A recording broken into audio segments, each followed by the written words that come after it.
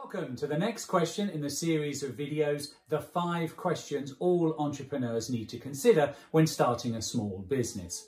I hope you're enjoying the five part series and we'll dive in to the next question. So, what have we looked at in the last 20 minutes? Well, we've looked at the top five questions every entrepreneur needs to ask about starting a small business, but has been afraid to ask.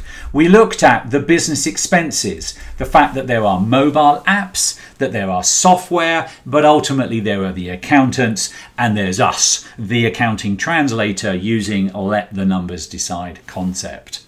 We also looked at what was called the status of your business and how what type of business you might want to set up, whether it be a self-employed, self-proprietor, whether you might move to have some S corp pass through, therefore again protecting yourself a little bit from uh, some of the tax regimes, moving ultimately to an LLC where you're going to have limited liability um, protection. But again, it's important to understand that all three stages have benefits and all three stages have, um, have um, negative points.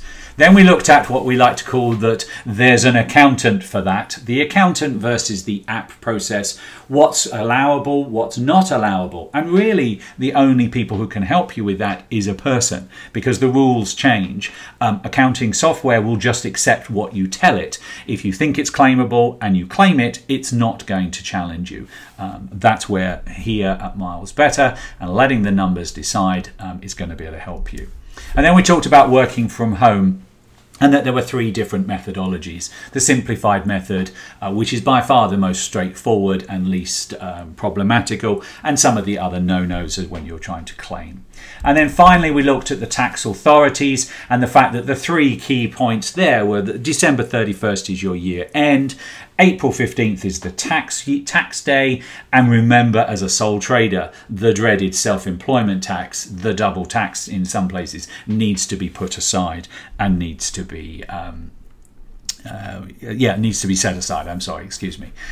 So I hope you've enjoyed that, that sort of quick overview of the top five questions every entrepreneur needs to ask when starting a business. But I did promise you at the front um, that I would uh, be offering some free ebooks uh, and some other information.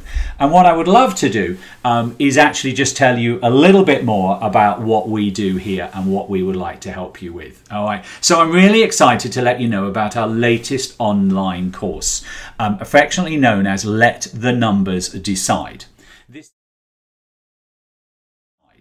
This six week course will help you launch or grow your business by letting the numbers decide rather than the normal fake it till you make it approach. Each module will build to allow you to start by drafting the blueprint to success, where we'll explore the foundations needed to launch or grow your business, covering the building blocks, the mindset, and the necessary research and study moving through cutting the ribbon as we as we launch the business in the first few months and support the concepts with the powerful decision machine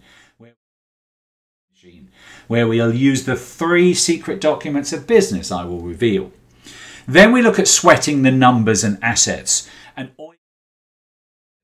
and oiling the machine to ensure continued success as an entrepreneur finally coming to the big question as what is next, a section we're calling Building the Empire. This course will include uh, bonuses, group um, coaching sessions, and additional material worth over £6,500 and more if you take some of the upgrade options. So as I said, as I promised at the beginning, please also enjoy two ebooks when you drop your email in as, as both a thank you for listening to this presentation and also as a start of the course. The first is the Accounting Translator Guide to Business, a plain speaking approach to the terms used in accounting, the language of business. The second is a 10 step overview of launching a business and will whet your appetite for the course.